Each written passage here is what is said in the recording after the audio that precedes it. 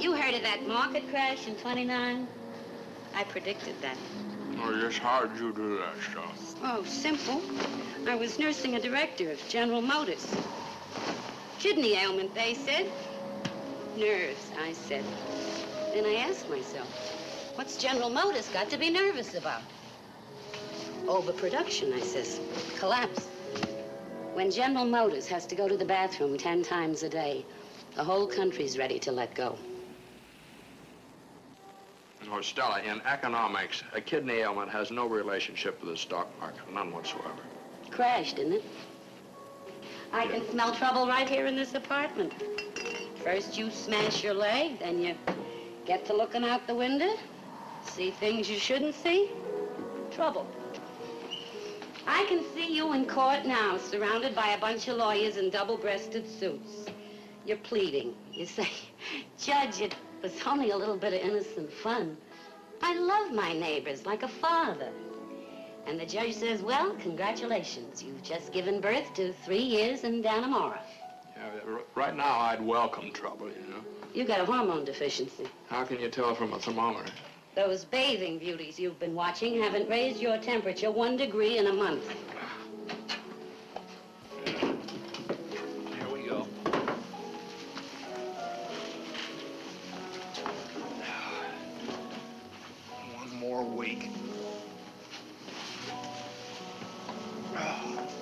Know, I think you're right. I think there is going to be trouble around here. I knew it.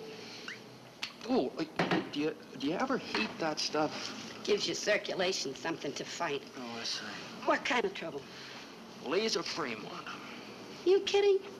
She's a beautiful young girl, and you're a reasonably healthy young man. She expects me to marry her. That's normal. I don't want to. It's abnormal. I just, I'm not ready for marriage. Every man's ready for marriage when the right girl comes along. And Lisa Fremont is the right girl for any man with half a brain who can get one eye open.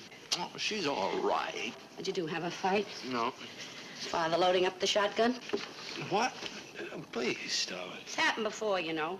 Some of the world's happiest marriages have uh, started under the gun, as you might say.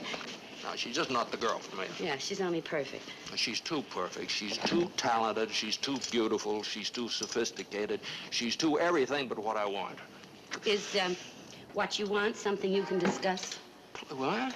Well, it's very simple, Stella. She belongs to that rarefied atmosphere of Park Avenue, you know, expensive restaurants and literary cocktail parties. People with sense belong wherever they're put. Can you imagine her tramping around the world with a camera bum who never has more than a week's salary in the bank if, if she was only ordinary? You never gonna get married? Well, I'll probably get married.